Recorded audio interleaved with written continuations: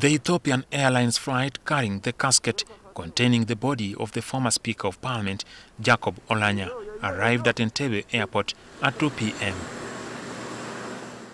The Vice President Jessica Alupo, the new Speaker of Parliament Anita Among, and the Chief Justice Alfonso Winyi Dollo joined Oulanyah's relatives to wait for the plane as it taxied to a halt.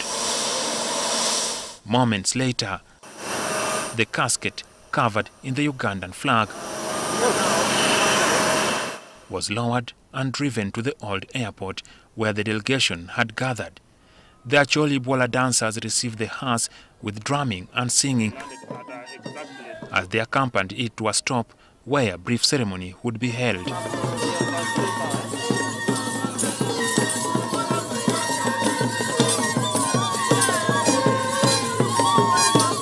The Chief Justice, Owiny-Dollo, explained the Bwala dance reception.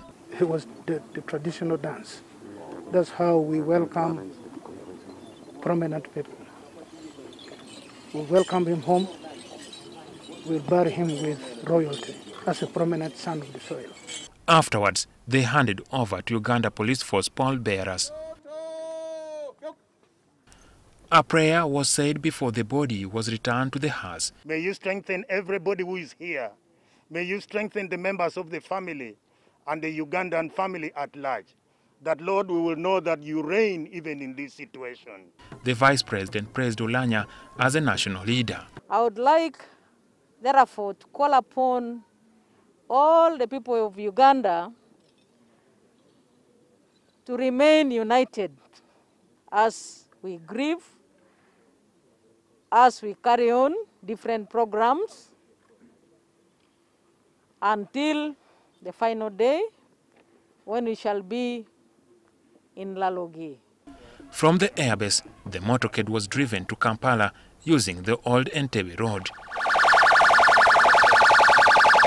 In many places, people stopped to stare at the motorcade as it sped towards the funeral home. The police lead car cleared the way, paralyzing traffic in some places. The body will be taken to the deceased Muyenga home on Sunday.